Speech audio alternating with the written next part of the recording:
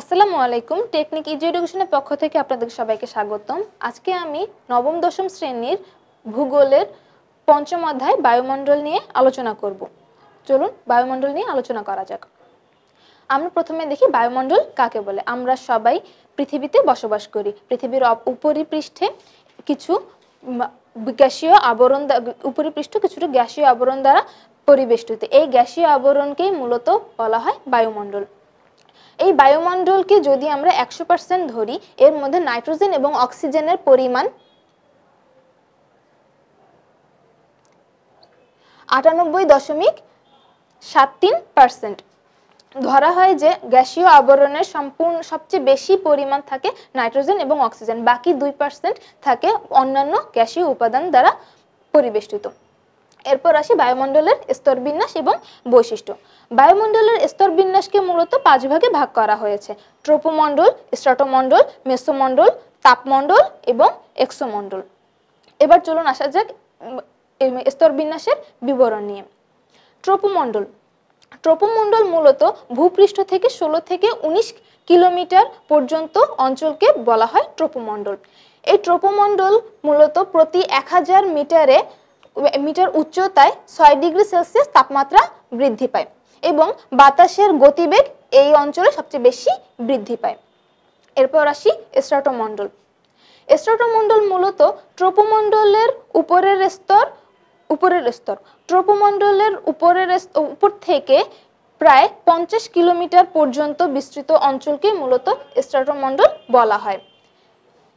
স্ট্রাটোমণ্ডলের অন্যতম বৈশিষ্ট্য হচ্ছে ওজোন গ্যাস, যা আমরা ও দ্বারা প্রকাশ করে থাকি।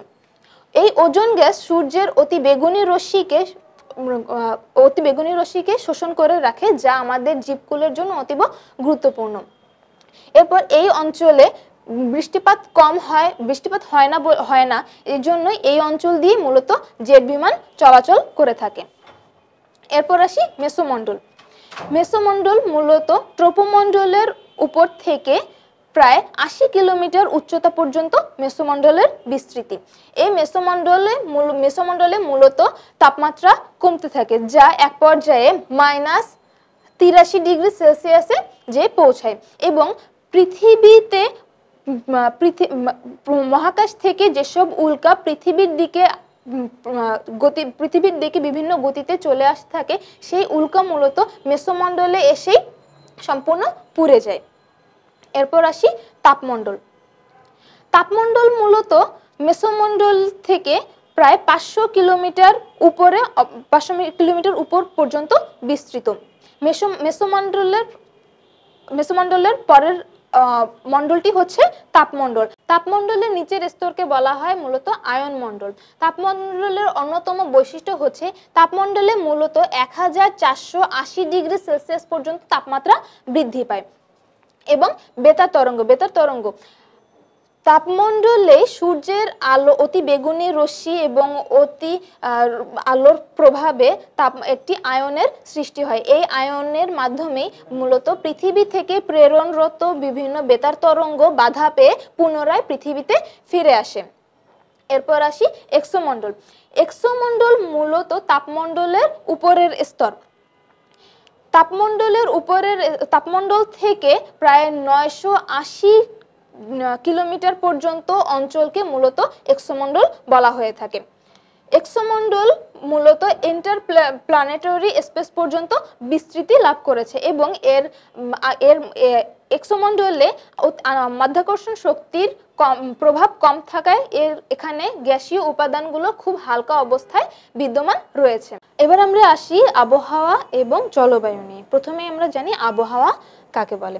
আবহাওয়া মূলত কোনো একটি নির্দিষ্ট স্থানের বায়ুর চাপ, তাপ, আর্দ্রতা, মেঘাচ্ছন্নতা, বৃষ্টিপাত এসবের দৈনন্দিন সামগ্রিক অবস্থাকে আবহাওয়া বলা হয় এবং জলবায়ু কাকে বলে? জলবায়ু মূলত হচ্ছে কোনো একটি নির্দিষ্ট স্থানের তিরিশ থেকে চল্লিশ বছরের আবহাওয়ার গড় তাপমাত্রাকেই বলা হয় জলবায়ু।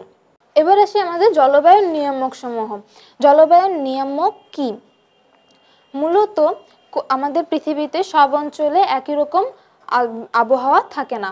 কোন অঞ্চল, অঞ্চলে বৃষ্টি বহুল, কোন অঞ্চল বৃষ্টিহীন, কোন অঞ্চল আর্দ্র এবং কোন অঞ্চল রৌদ্রোৎসাহী।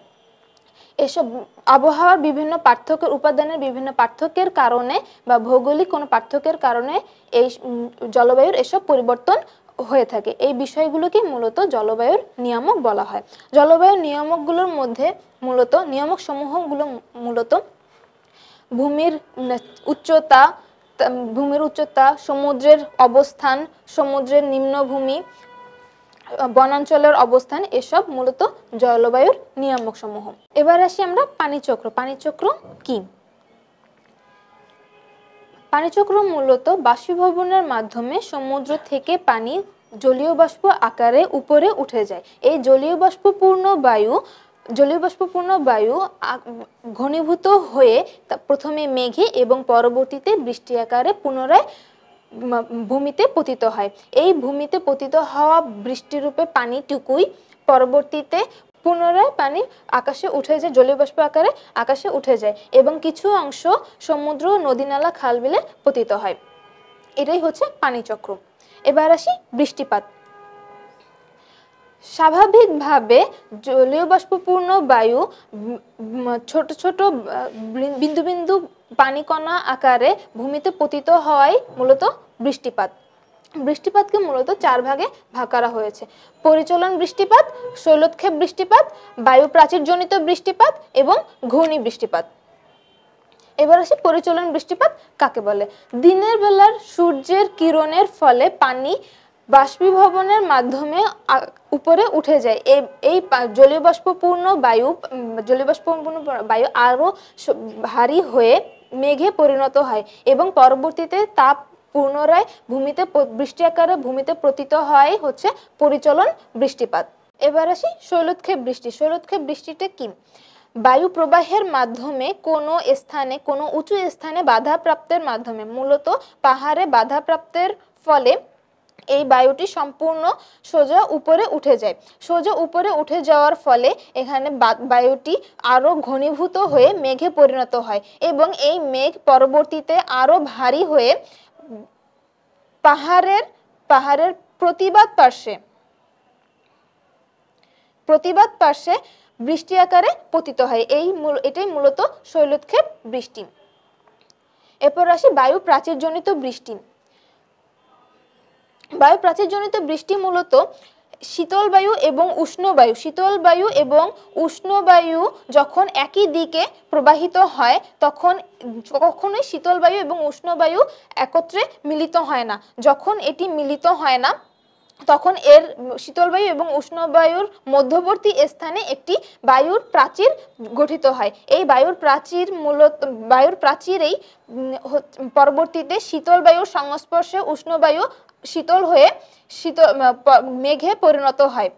এই মেঘ থেকেই পরবর্তীতে বৃষ্টিপাত সংঘটিত হয়। এটাই মূলত বায়ুর প্রাচীরজনিত বৃষ্টিপাত। এবার আসি ঘূর্ণি বৃষ্টি ঘূর্ণি বৃষ্টি কি?